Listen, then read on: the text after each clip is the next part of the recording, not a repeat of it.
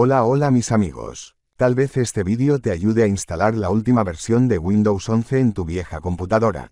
Después de abrir el menú de instalación, vaya al paso donde necesita seleccionar la edición de Windows 11. Presione Shift y F10.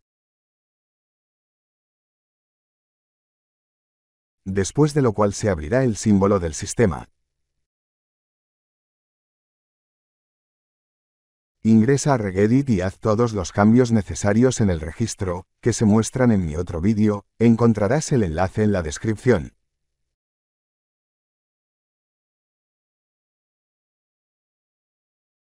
Todo el proceso de instalación transcurre como de costumbre, con solo cambios menores, y la nueva edición de Windows 11 se instaló con éxito en mi computadora anterior, que ya tiene más de 10 años.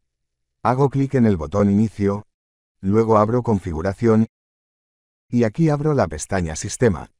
Voy hasta el final y abro una pestaña con información sobre mi sistema y sobre mi computadora anterior. Aquí podemos ver los detalles de mi CPU y está en la lista de no compatibles con Windows 11. Luego me muevo un poco más abajo y aquí vemos que la última versión de Windows 11 está instalada en mi computadora anterior. Muchas gracias por su atención a mi vídeo. Si te gustó la información de mi vídeo, compártela con alguien más. Que tengan todos un buen día.